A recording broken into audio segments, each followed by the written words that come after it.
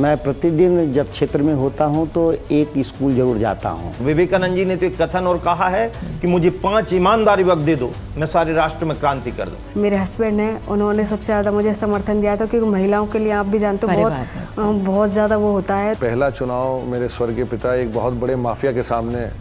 लड़के चुनाव जीते थे